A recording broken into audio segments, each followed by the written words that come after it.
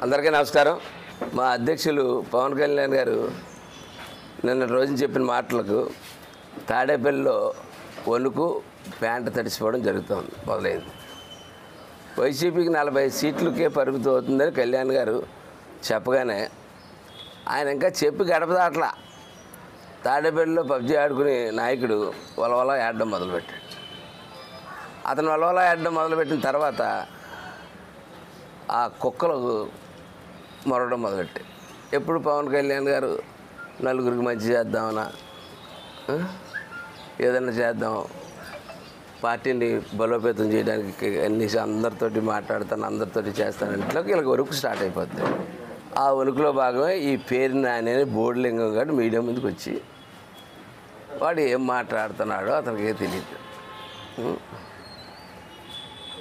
నిన్ను already palace నుంచి తరివేశారు. ఇప్పుడు ప్యాలెస్ కుక్కవు కాదు. నువ్వు ఊరకొక్కవు ఇప్పుడు. మళ్ళీ ఊరకొక్కకి మళ్ళీ ప్యాలెస్లోకి దూరడానికి ఈ ప్రయత్నం స్టార్ట్ చేశాను ఈ కుక్కకి అసలు బుద్ధి లేదు. ఒక చెత్తవాదం చెప్పాడు.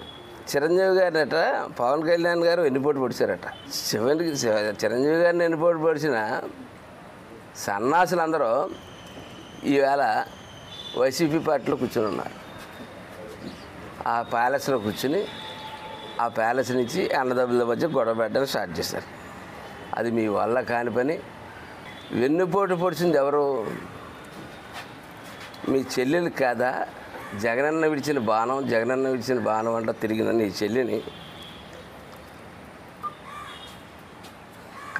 జగన్మోహన్ రెడ్డి చెల్లిని మోసం చేసినప్పుడు ఈ కుక్కలు ఏం చేస్తూ ఉన్నాయి? ఆవిడ రాజశేఖర రెడ్డి గారు బిడ్డగా? అప్పుడు ఈ కుక్కలకి గుర్తు రాలేదా? ఈ కుక్కలు మరగడం. ఆ వేళ మరగన కుక్కలు వేళ మరుగుతూ ఉన్నాయి. నిన్న జగనన్న బాణం తెలంగాణలో ఏమని గొగ్గులు పెట్టింది. ఆ మాటలకు తేడపల్లి ప్యాలెస్ వివరణ ఇవ్వాలి.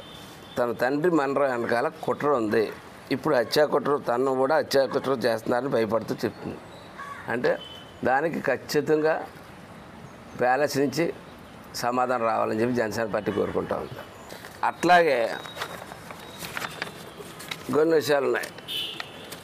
వీటితో పాటు ఢిల్లీ లిక్కర్ స్కామ్లో జగన్ సతీమణి శ్రీమతి రెడ్డి ప్రేమ ఏమిటో కూడా పెద్దగా ఆ ఇంటి కుక్కగా పేరునని చెప్పాలి. ఎందుకంటే తెలంగాణలో వాళ్ళు ఎవరో కేసీఆర్ కూతురి మీద కూడా ఇటువంటిది రావడం జరిగింది విచారణ జరుగుతూ ఉందని చెప్పింది. వాళ్ళు విచారణ సిద్ధం దమ్ము ఉంటే రండి ఛాలెంజ్ మాకు ఎటువంటి సంబంధం లేదని చెప్పి ఛాలెంజ్ ఇస్తున్నారు మీరు ఎందుకు ఛాలెంజ్ ఇస్తారలేకపోతున్నారు మీరు ఖచ్చితంగా మీ దగ్గర తప్పు లేకపోతే పార్టీని పార్టీకి మీరు అది ఛాలెంజ్ చేస్తారు కానీ పవన్ కళ్యాణ్ గారు పార్టీని బలోపేతం చేసుకోవడానికి టూరు పెట్టుకున్నారు డేట్ మార్చుకున్నారు. ఇవన్నీ మీకెందుకే మా పార్టీలో మేము పార్టీ అన్ని రకాలుగా సజ్జత ఉన్నప్పుడు యాత్ర చేస్తాం. అంతే తప్ప మా లెక్కలు మాకు ఉంటాయి అంతే తప్ప మా లెక్కలు మీకెందుకు? మీ లెక్క చెప్పండి ముందు. భారతమ్మ గారు మీద వచ్చిన ఆరోపణని మీరు ఎవరైనా ఖండించారా ఇప్పటికి వచ్చి మీ పార్టీ కానీ మీరు కానీ ఖండించారా? ఖండించిన తర్వాత ఎవరి గురించి మాట్లాడి ఈ ప్యాలెస్లో ఉన్న కుక్కలన్నీ తెలుసుకోవాల్సిన విషయం ఏంటంటే రోజు రోజుకి ఈ గ్రాఫ్ పడిపోతూ ఉంది. ఇంకా కళ్యాణ్ గారు నలభై సీట్లు చెప్పారు. మా జిల్లాలో అయితే కూర్చుని వాతావరణం చూస్తే ఇరవై సీట్లు కూడా రావేమో అని అనిపిస్తుంది. దాన్ని ఖచ్చితంగా ఎన్నికల కాడికి ఇరవై సీట్లు లోపే పడిపోతా ఉంది. ఎందుకంటే మొన్న మేము కడపల్లి వచ్చాం. కడపలోనే ఇంటింటికి చీ కొడతా ఉన్నారు. ఒక ఆయన కలిశాడు అన్నా మా దగ్గర ఫిఫ్టీ ఫిఫ్టీ లాగడం కష్టంగా ఉంది. ఫిఫ్టీ పర్సెంట్ వస్తుందో లేదో అది చాలా కష్టంగా ఉంది. పక్కా వైఎస్ఆర్ మనిషి. నా పూర్వం కాంగ్రెస్లో పరిచయం. చాలా కష్టం. మీ జిల్లాల మీద ఆశ పెట్టుకున్నాం అన్నాడు అంటే నేను అన్నాను అయితే మా జిల్లాల్లో కూడా మీ సంస్కృతి కానీ స్టార్ట్ చేసేస్తారా? ఏంటి? అన్నాను. తీరా చూస్తే ఇలా ఊరిలో వచ్చేనో లేదో. కడపలో నాలుగు తుపాకులట నాటు తుపాకులట. కడప రాజ్యం కడపలో స్టార్ట్ చేసేసారు. కడపలో కడప రాజ్యం స్టార్ట్ చేసేటండి నాలుగు తుపాకులు తో నేను పట్టుకున్నారు పోలీసులు. డిఎస్పీ గారు భీమారావు గారు ఏదో ఎవరిని ఇచ్చారు. వాళ్ళు ఏదో పెట్టలు కొట్టుకునే వాళ్ళు. ఇలాంటి కథ పెట్ట కథలు చెప్తున్నాడు. పెట్ట కథలు కాదు. అసలు ఈ నాటు తుపాకీలు ఇక్కడ ఎలా ప్రవేశించాయి? అది తేల్చాల. అలాగే కాకినాడలో పంతొమ్మిది వందల ఎనభై ఐదులో లేఅవుట్ అయినటువంటి లేఅవుట్లో అందులో ఒక ప్రార్థనా మందిరం ఉంటే దాన్ని కడపరెడ్లు వచ్చి కాంపౌండ్ వాళ్ళు కట్టేశారట. లవో దివో అని చెప్పి ఇద్దరు ఎమ్మెల్యేల దగ్గరికి వెళ్ళారు. అలా క్రైస్తవులు మళ్ళా కొంతమంది వెళ్ళారు. ఆ సైట్లో వెళ్ళారు. వెళ్తే ఒక ఎమ్మెల్యే గారు కాకినాడ ఎమ్మెల్యే గారు నా పరిధి కాదు నా పరిధిలో అయితే తోలు తీసేస్తానని చెప్పారు. ఈ ఎమ్మెల్యే గారు చెప్పారట మా పార్టీ వాళ్ళు చేస్తున్నారు నేను ఏం చేయగలను అన్నాడట మేం చేయగలం మేం చేస్తాం చేసి చూపిస్తాం. అంటే ఇంత బలవంతంగా కడప సాంప్రదాయం ఈస్ట్ గోదావరిలో పెడతానంటే చూస్తా ఊరుకోవడానికి ఇక్కడ జనసేన పార్టీ కానీ తూర్పుగోదావరి జిల్లా ప్రజలు కానీ సిద్ధంగా లేరు దానికి ఒప్పుకోరు. కానీ కన్నబాబు గారికి శభాష్ చెప్పగలుగుతాను చాలా తక్కువ కాలంలో కన్నబాబు గారు మంచి ట్రైనింగ్ పొందాడు.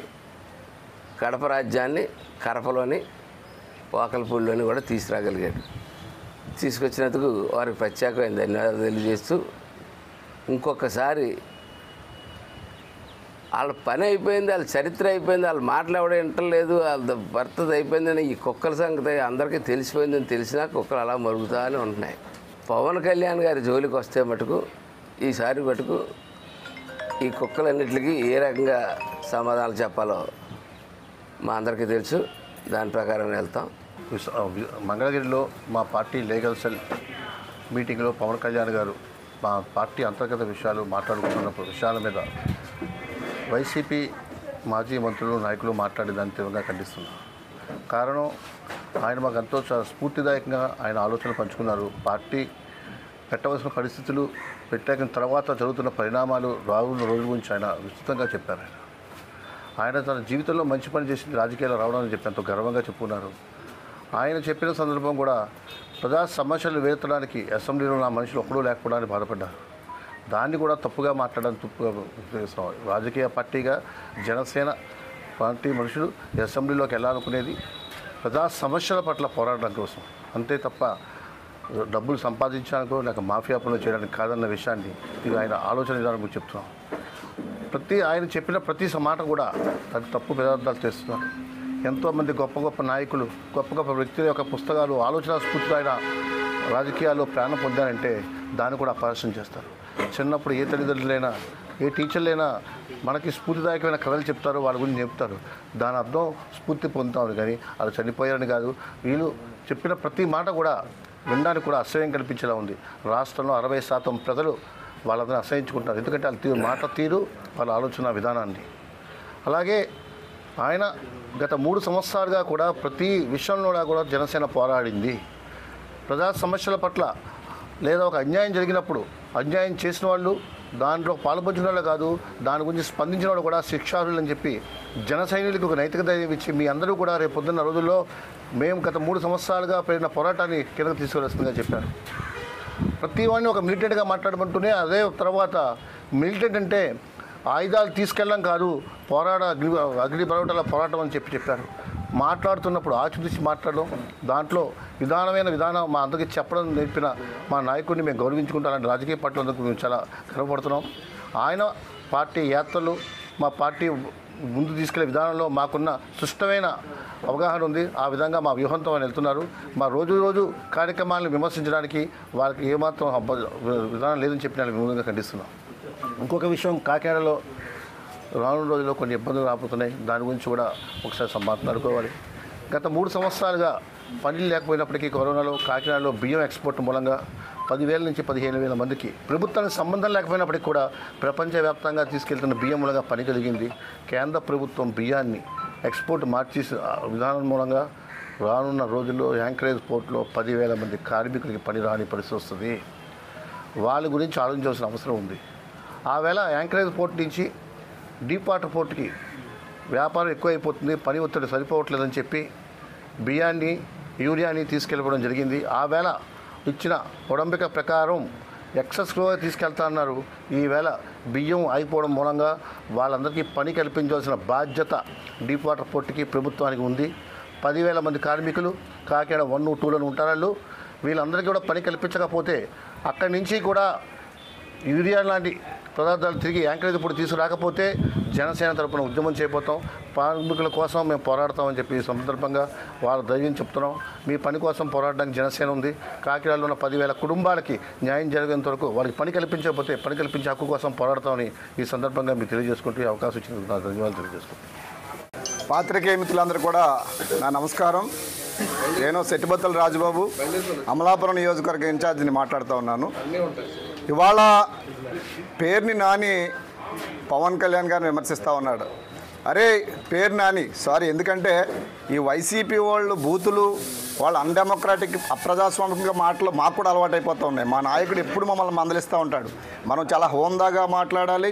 ఎవరిని ఏకవచనంలో కానీ అరే ఒరే తురే అని కూడా అనకూడదని మా నాయకుడు హెచ్చరిస్తూ ఉంటారు.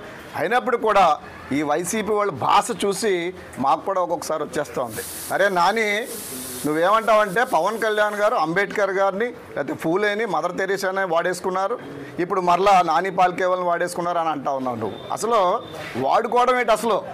మహనీయుల్ని ఆదర్శంగా తీసుకుంటుంది. ఏ రాజకీయ పార్టీ అయినా ఏ రాజకీయ నాయకుడైనా ఎంతమంది ఆదర్శ పురుషులున్నా ఎంతమంది మహనీయులు ఉన్నా వారందరినీ ఆదర్శంగా తీసుకుని పార్టీ నిర్మాణం జరుగుతుంది. అది ఇంకో కనీస జ్ఞానం లేనటువంటి నువ్వు ఏం మాట్లాడుతున్నావు నీకే తెలియట్లేదు. ఇందాక మా పిఎస్సి సభ్యులు నానాజీ గారు చెప్పినప్పుడు ఖచ్చితంగా నిన్ను ప్యాలెస్ నుంచి బయటకు తరిమారు. మళ్ళా నీకు ప్యాలెస్లోకి రావాలి. ఎందుకంటే మా జన సైనికులు అంటూ ఉంటారు పవన్ని తిట్టు పదవి పట్టు. ఇదే నానుడి వేళ వైసీపీ నాయకులు పదవుల కోసం ఒక నిబద్ధతతో పనిచేస్తున్నటువంటి పవన్ కళ్యాణ్ గారిని విమర్శిస్తూ ఏకవచనాలతో మాట్లాడుతూ ఇవాళ జగన్మోహన్ రెడ్డి మెప్పు పొందడానికి ప్రయత్నం చేస్తూ ఉన్నారు. మీ జగన్మోహన్ రెడ్డి రాజప్రస్థానంలో ఇవాళ పాదయాత్ర చేసి హామీలు ఇచ్చి ప్రజలకు కనబడకుండా రాజప్రస్థానంలో దాక్కున్నటువంటి మీ జగన్మోహన్ రెడ్డి గురించి మీరు నోరు మెదపరా? అని మిమ్మల్ని అడుగుతూ ఉన్నాం. ఎందుకంటే నరం లేని నాలుక కొంచెం కోపంగా కూడా ఉంది కట్ చేయాలని ఉంది ఆ నాలుకని. కానీ ప్రజాస్వామికవాదులం కాబట్టి అలా అనలేకపోతున్నాం. కానీ అవకాశం వస్తే మాత్రం ఈ ఆంధ్రప్రదేశ్ రాజకీయాల్లో ఈ పేరుని నాని నాని లాంటి చీడ పురుగులు పదవుల కోసం ఎంతకైనా దిగజారే చేడ పురుగులు నాలుకలు కొయ్యాల్సి వస్తుంది ఖచ్చితంగా కూడా. అది ఏదైనా అవ్వచ్చు. ఎందుకంటే వేళ ఒక దీనికి ఒక అంతు లేకుండా పోతా ఉంది. ఒక మంచి నాయకుడిని పట్టుకుని ఏకవచనంతో అరే ఎవరంటే ఎవడరా నువ్వు నాని అసలు? నువ్వెవడు అసలు? నీ స్థాయి ఏంటి? పవన్ కళ్యాణ్ గారి స్థాయి ఏంటి అసలు? నువ్వు కానీ కనీసం మీ జగన్మోహన్ రెడ్డి కూడా విమర్శించడానికి సరిపోడు. పవన్ కళ్యాణ్ గారు కాలిగోటు కూడా మీ జగన్మోహన్ రెడ్డి సరిపోడు? గుర్తించుకోముందు వైసీపీ నాయకులకి అందరూ కూడా హెచ్చరిస్తూ ఉన్నాం. మీరు పదే పదే పవన్ కళ్యాణ్ గారిని అప్రజాస్వామికంగా విమర్శిస్తే మీరు ఏదైనా లోపాలు ఉన్నప్పుడు వ్యవస్థాగతంగా కానీ ఏదైనా లోపాలు ఉన్నప్పుడు మీరు ఎత్తి చూపండి. మేము సరిదిద్దుకుంటాం తప్పించి ఏకవచనంతో అడ్డగోలుగా మీ నాయకుడు మెప్పు పొందడానికి మీరు ఇష్టం వచ్చినట్టు మాట్లాడితే మాత్రం జన సైనికులు చూస్తూ ఊరుకోరని చెప్పి హెచ్చరిస్తూ ఉన్నాం. అరే పేరు నాన్ని నీకు ఇదే ఆఖరి వార్నింగ్ జన సైనికులు చూస్తూ ఊరుకోరు. నువ్వు దానికి సిద్ధపడు. చ- తగిన మూల్యం చెల్లించుకుంటావని తెలియజేస్తా ఉన్నాను.